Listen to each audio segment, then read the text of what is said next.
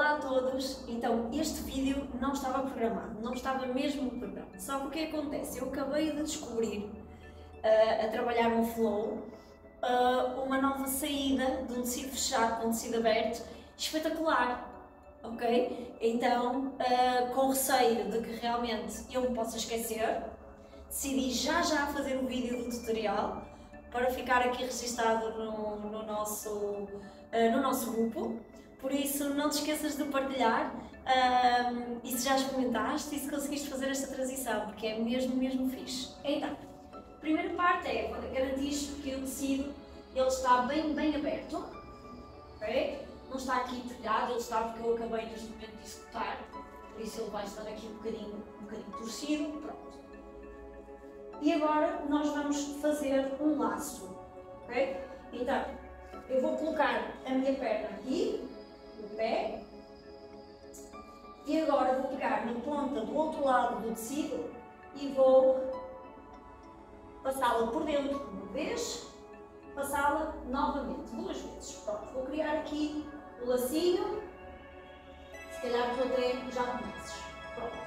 Daqui eu vou subir e ao subir o objetivo é eu encaixar aqui a minha outra, meu outro pé, minha outra perna. Pronto. Quanto mais uh, conseguires afastar as tuas pernas, mais o tecido vem para a zona da tua anca e o nó fica bem aqui no meio. Daqui, o flowzinho então basicamente passa por experimentarmos aqui o locust e ganhar aqui uma grande confiança para segurar cá em baixo e deixar o tecido baixar aqui para a zona da tua anca. Tá? Mantens as pernas afastadas porque senão podes deslizar e se deslizares fica mais difícil concluir. Aqui podes abrir já as tuas asas. Okay? Eu vou colocar o tecido no meu ombro e vou subir as minhas pernas. Isto aqui faz parte só do flow, que era o que eu estava a trabalhar. E daqui eu vou esticar a minha perna, vou escolher a direita e vou rolar o meu ombro para o lado direito. Então repara que o ombro ele está suportado pelo tecido, ok? Daqui eu basicamente vou esticar a minha perna contrária, porque eu quero que ela fique livre, e vou trazê-la também para dentro do tecido. Aqui. Daqui eu já começo a deslizar e termino então com o tecido aberto. então, percebeste a voltinha que eu fiz? Então, basicamente, eu trilhei o meu ombro direito, e fiz uma rotação completa sempre com um peso.